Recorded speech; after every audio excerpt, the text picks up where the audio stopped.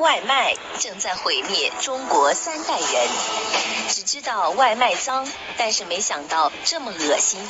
只有你想不到，没有外卖做不到。以前在我们的认知中，很多无良餐厅和专做外卖的商家，可能都是后厨很脏，蟑螂、老鼠乱窜，或者是工作人员直接用手甚至用脚处理食材。但是今天，我们的三观又一次被刷新，外卖商家的菜根本就不是自己做的，只需要购买廉价速食包，然后将其浇在饭上，再放入微波炉叮一下就算完事儿了。这些外卖速食包的制作过程堪比垃圾堆里捡垃圾，用远低市场价的最便宜的肉，没有来源，不知道保质期，放了多少年都不知道，成吨成吨的加工成料理包，销往全国各地。你嘴里吃到的，你真的知道是什么吗？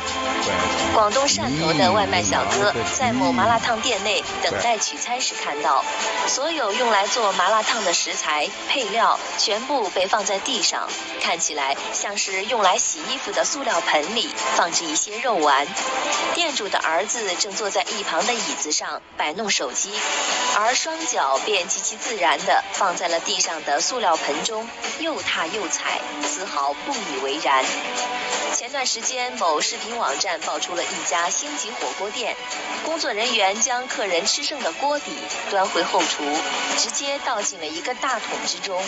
沥一沥，重新加热，一份新的四川老油就可以重新当做外卖出售。里面不知道沾满了多少上桌客人的唾液和细菌，真的是太恶心了。你永远不知道，当一份热气腾腾的外卖放在你面前时，他经历过什么，有多少病都是吃出来的。所以，无论多么忙碌，拿出一分钟时间把这个视频发给自己的孩子，说不定他正在吃外卖。生活是自己的，健康是自己的，同意的转发出去。马拍群，全网精品视频群社区，微信搜索。M P 八一八二，M P 八一八二，关注后即可免费进群。